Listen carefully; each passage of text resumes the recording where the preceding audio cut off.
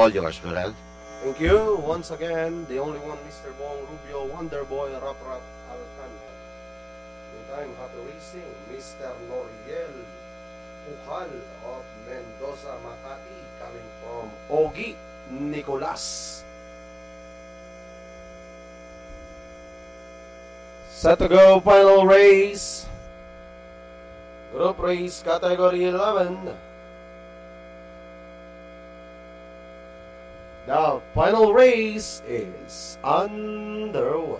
Copernicus shows alertness at the start, moving up down on the inside.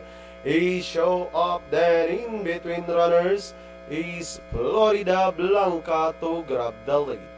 Now they are all after Florida Blanca by three quarters of a length over show off. Rocking Hill now racing in third.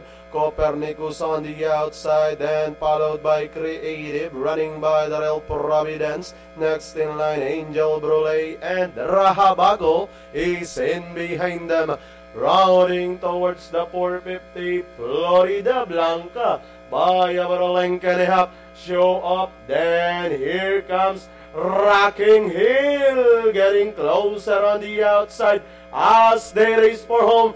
Florida Blanca show up. Rocking Hill moving up on the outside.